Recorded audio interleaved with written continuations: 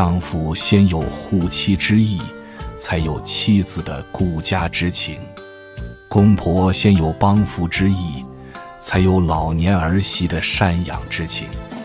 谁结婚，都不是奔着当怨妇去的。当女人不被理解，什么都要靠自己的时候，谁都没资格和她谈温柔，更没资格跟她讲情分。未经他人苦，莫劝他人善。